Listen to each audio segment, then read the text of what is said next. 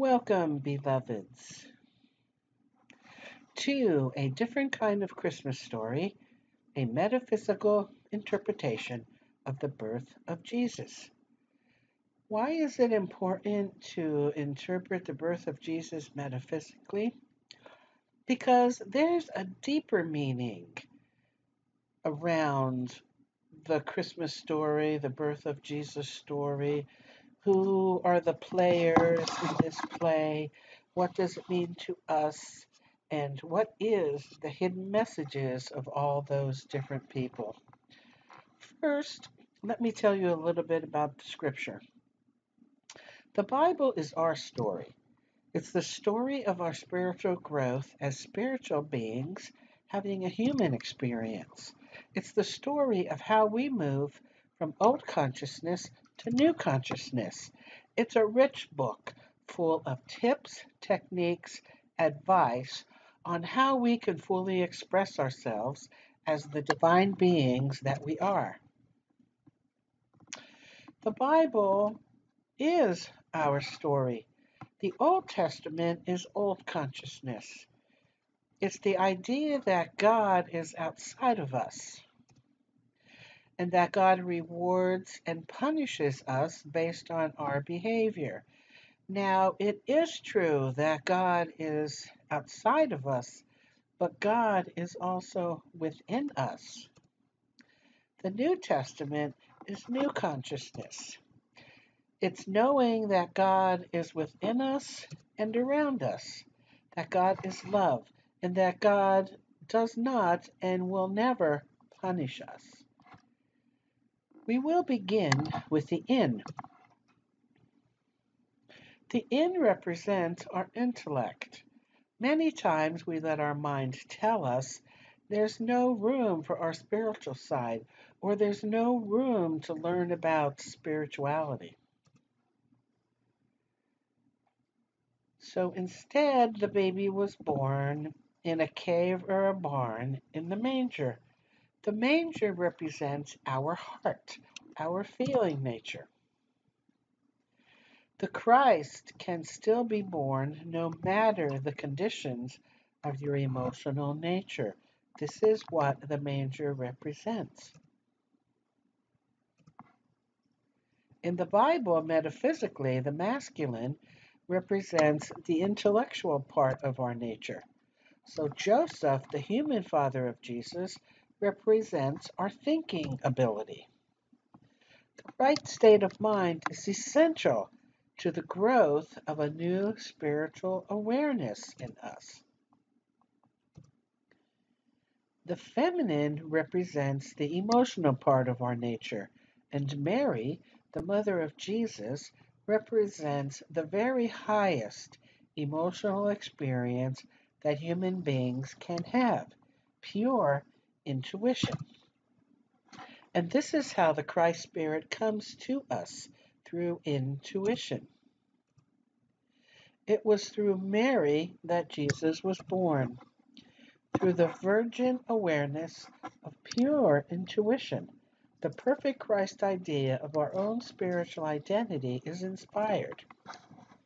A pure, a pure heart always magnifies the Spirit of God in us. Angels represent messages from God, divine inspiration and guidance that brings good news of great joy. In the Bible, a star always represents the possibility of our own Christhood. To develop this, to be able to see that star, we need to go apart a while and experience the communion in the silence of the secret place of the Most High. In other words, meditation. To be able to see that star and follow it will bring forth the beautiful spiritual qualities of our true nature.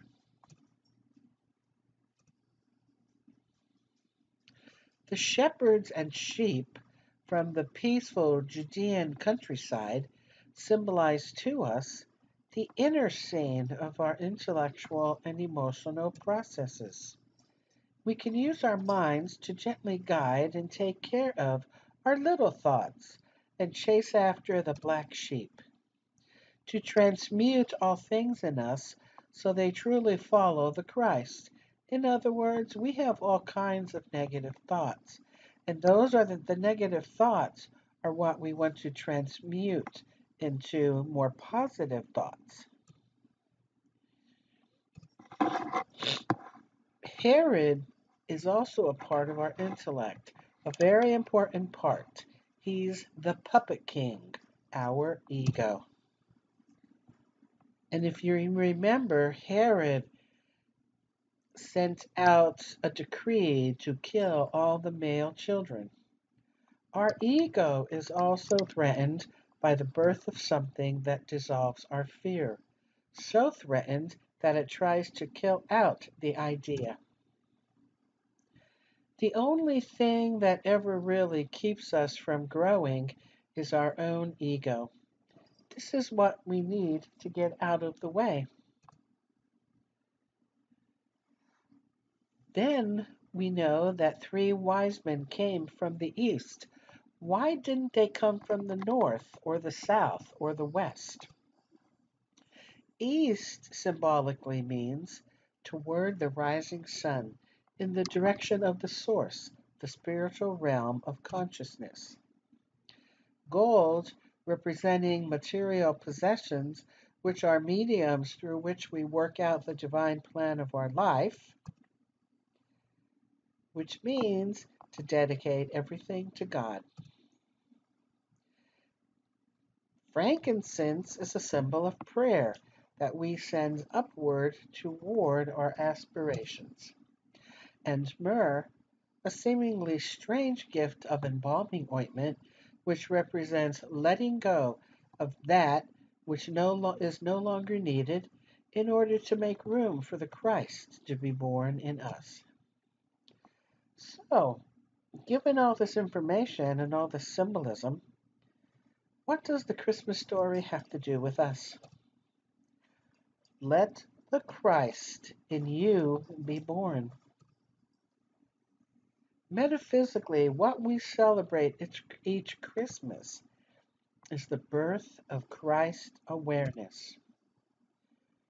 What Jesus brought to us was a spark of new light, new possibility, light that shines through the darkness of human confusion and illuminates the spiritual truth of who we are. And it doesn't just happen once.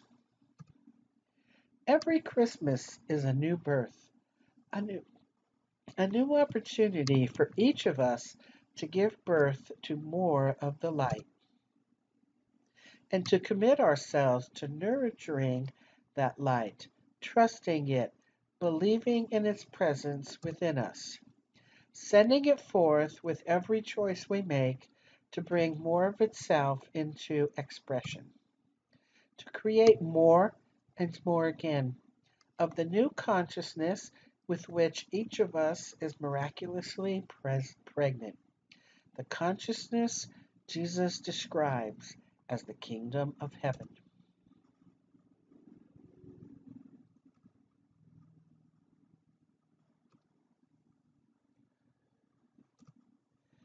The Christmas story tells us how to do it.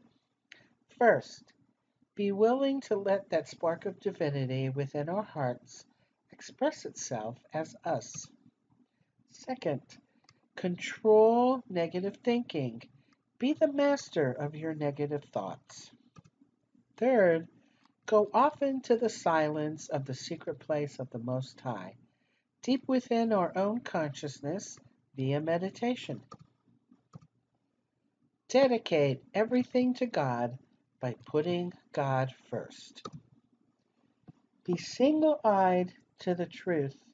And what this means is no matter what the outer appearance, the Spirit of God is present in every situation, and all things will work out for good.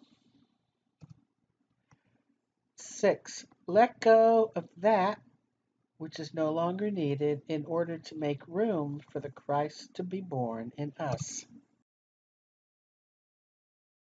If you'd like to know more about spiritual growth and about metaphysically interpreting some of the stories in the Bible, then subscribe to my YouTube channel.